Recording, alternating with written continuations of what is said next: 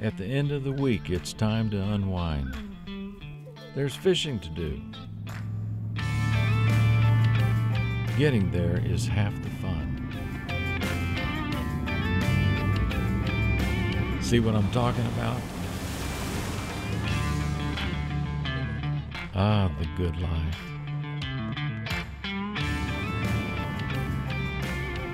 This is more than just a truck.